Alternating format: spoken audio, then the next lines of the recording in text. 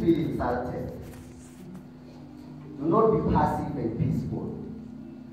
For every black person in South Africa, in the world at large, is a prisoner, serving life imprisonment from the day we are born to the day we die. I say, black people, do not be passive and peaceful. For every black person in South Africa, in the world at large, is a prisoner, serving life imprisonment from the day we are born to the day we die. Black man and black woman, you may be on your own, but you're not alone. We all share your story and your pain. Mm. The story and the pain of being black. All of us, rich or poor, it makes no difference. Just prisoners in different cages. Prisoners of hunger. Prisoners of consciousness. Prisoners of religious ideas of conquest. Prisoners of worshipping the nonsense. Prisoners of self-hate. Prisoners of non-self-acceptance. Prisoners of a misleading social media content. Prisoners who are sentenced to entertainment.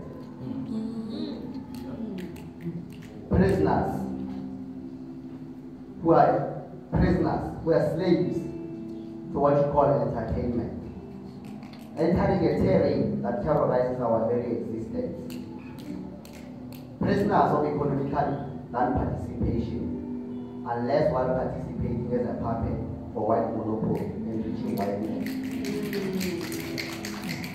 Prisoners sentenced to a life of stress. Prisoners of social welfare. Prisoners who are sentenced to a life of stress. Prisoners is us We have no power.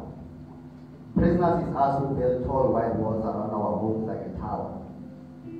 Prisoners is us, the Christians. Prisoners is us who are the good ones. Prisoners is us, the law-abiding citizens. Prisoners is us who obey all the rules of nonsense that offend us. Prisoners is us who are fashioned to be scared of revolution. Where are the real, the, the real revolutionaries? The revolutionaries are few amongst us. The revolutionaries are prisoners locked behind steel bars. The revolutionaries are painted as criminals. The revolutionaries are fugitives running away to avoid the steel bars. The revolutionaries are those who rebel against the system that is built against us. A revolutionary is he who threw a bucket of poo on the statue of Cecil John Rhodes. Revolutionaries are those who are refusing to pay e-tolls on those roads. A revolutionary is he who said that Jesus had HIV AIDS. Revolutionaries are those who rob these banks that charge us with interest rates. And revolutionaries are those who are above these ATMs that surrender their hard labor to this system of thieves. Revolutionaries are those who steal from those who steal from us. Revolutionaries are those students who bottles and stones demanding free quality education.